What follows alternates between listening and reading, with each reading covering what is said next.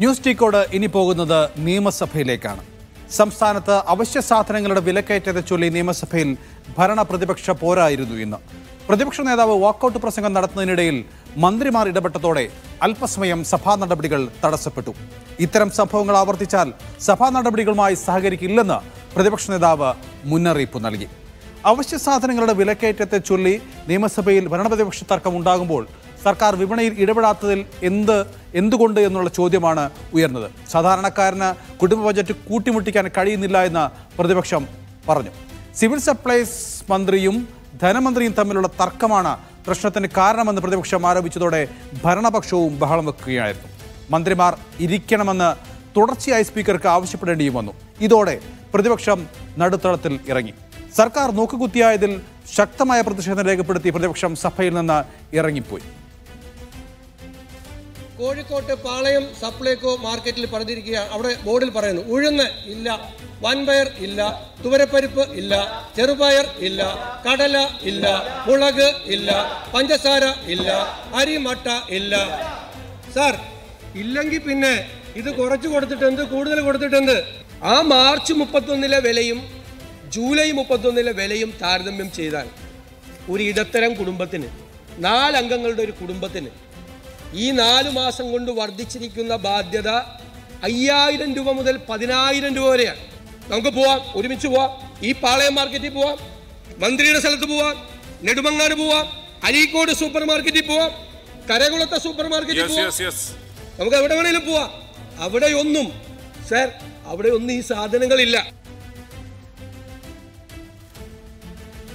നിത്യോപയോഗ സാധനങ്ങളുടെ വിലക്കയറ്റം തടയാൻ സർക്കാർ മികച്ച രീതിയിൽ വിപണിയിൽ ഇടപെടുന്നുണ്ട് എന്നാണ് ഭക്ഷ്യമന്ത്രി ജി ആർ അനിൽ നിയമസഭയെ അറിയിച്ചത്. ഇന്ത്യയിൽ മറ്റൊരിടത്തും ഇതുപോലെ വിപണി ഇടപെടൽ നടക്കുന്നില്ല.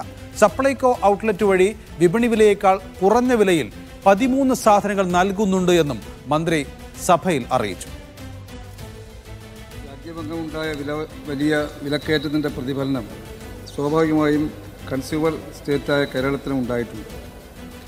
എന്നാൽ രാജ്യത്തെ ഇതര സംസ്ഥാനങ്ങളുമായി താരതമ്യം ചെയ്യുമ്പോൾ വിലക്കയറ്റ സംസ്ഥാനത്ത് താരതമ്യേന കുറവാണെന്ന് കാണാൻ കഴിയും. വിലക്കയറ്റം ഉണ്ടാകുമ്പോൾ ഒരു സർക്കാരിന് ചെയ്യാൻ കഴിയുന്നത് വിപണിയിൽ ശക്തമായി ഇടപെടുക എന്നതാണ്.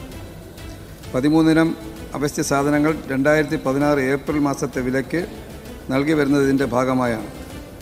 സപ്ലൈകോ വഴിയുള്ള ഇത്തരം വിപണി ഇടപെടലിലൂടെ മാത്രം സംസ്ഥാന സർക്കാരിന് പ്രതിവർഷം ശരാശരി മുന്നൂറ്റി പതിനഞ്ച് കോടി രൂപ ചെലവ് വരികയാണ്. മേൽ പരാമർശിച്ച പതിമൂന്നിനം സബ്സിഡി ഉൽപ്പന്നങ്ങൾ നിശ്ചിത അളവിൽ പൊതുവിപണിയിൽ നിന്നും വാങ്ങുന്നതിന് ആയിരത്തി മുന്നൂറ്റി എൺപത്തി മൂന്ന് രൂപ നൽകേണ്ടി വരുമ്പോൾ സപ്ലൈകോ വിൽപ്പനശാലകളിൽ ഇത് കേവലം എഴുന്നൂറ്റി അൻപത്തി ആറ് രൂപയ്ക്ക് ലഭിക്കുകയാണ്. ഇന്ത്യയിലെ മറ്റൊരു സംസ്ഥാനത്തും ഇത്തരത്തിലുള്ള ഒരു വിപണി ഇടപെടൽ നടക്കുന്നില്ല. പ്രതിമാസം ശരാശരി മുപ്പത്തി അഞ്ച് മുതൽ നാൽപ്പത് ലക്ഷം കാർമകൾ സപ്ലൈകോയുടെ വിപണിയിൽ ഇടപെടലിന്റെ സബ്സിഡി നിയമസഭയിൽ ഇന്ന് കണ്ടതെല്ലാം സേഫ് സൈൻ ലാബുദ്ദീൻ വിശദീകരിച്ചു. നിരവധി രാഷ്ട്രീയ വിഷയങ്ങൾ പ്രതിപക്ഷത്തിന്റെ കയ്യിൽ ഉണ്ടായിരുന്നെങ്കിലും ഇന്ന് ജനങ്ങളെ ബാധിക്കുന്ന ജനകീയ വിഷയം തന്നെയാണ് പ്രതിപക്ഷം നിയമസഭയിൽ അടിയന്തര പ്രമേയമായി കൊണ്ടുവന്നത് മിത്തി വിവാദം മുതലപ്പുഴി വിവാദം പ്ലസ് വൺ സീറ്റ് കിട്ടാത്ത വിവാദം അങ്ങനെ നിരവധി വിവാദങ്ങൾ ഉണ്ടായിരുന്നു. എന്നാൽ അതൊന്നും തൊടാതെ ജനങ്ങളെ ഏറ്റവും സാധാരണക്കാരായ ആൾക്കാരെ കൂടുതൽ ബാധിക്കുന്ന വിഷയമാണ് ഇന്ന് അടിയന്തര പ്രമേയമായി പ്രതിപക്ഷം നിയമസഭയിൽ കൊണ്ടുവന്നത്. വിലക്കയറ്റം നേരിടുന്നതിൽ സംസ്ഥാന സർക്കാർ പൂർണ പരാജയമാണ് എന്നുള്ളതാണ് അടിയന്തര പ്രമേയ നോട്ടീസിലൂടെ പ്രതിപക്ഷം ഉന്നയിച്ച ഏറ്റവും പ്രധാനപ്പെട്ട ആരോപണം. സപ്ലൈകോയിൽ സാധനങ്ങളില്ല കരാറുകാർക്ക് സംസ്ഥാന സർക്കാർ പണം നൽകുന്നില്ല അതുകൊണ്ട് സാധനങ്ങൾ കിട്ടുന്നില്ല ഓണക്കാലത്ത് ജനങ്ങൾ വലിയ ബുദ്ധിമുട്ടിലാണ് ഉള്ളത് എന്നടക്കമുള്ള വിഷയങ്ങളാണ് പ്രതിപക്ഷം നിയമസഭയിൽ ഉന്നയിച്ചത്.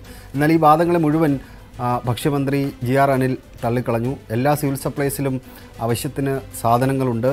പതിമൂന്നിന സാധനങ്ങൾ ഇല്ല എന്ന് പറയുന്നത് വസ്തുതയല്ല എന്ന് അദ്ദേഹം പറഞ്ഞു വെച്ചു. ഈ സംസാരത്തിൽ സംസാരത്തിലുടനീളം അദ്ദേഹം പറഞ്ഞു വെച്ചു.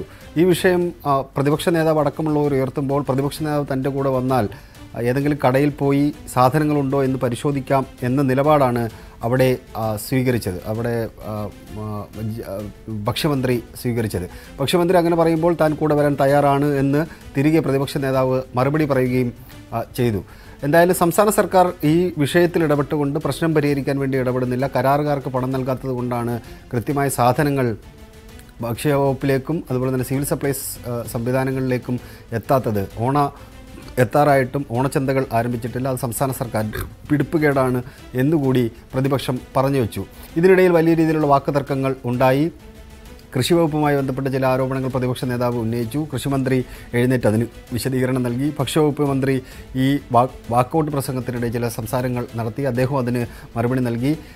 സപ്ലൈകോയെ K S R T C പോലെ ആക്കാൻ വേണ്ടിയാണ് സംസ്ഥാന സർക്കാർ ശ്രമിക്കുന്നത് എന്നുള്ള ആരോപണം പ്രതിപക്ഷ നേതാവ് മുന്നോട്ട് വെച്ചപ്പോൾ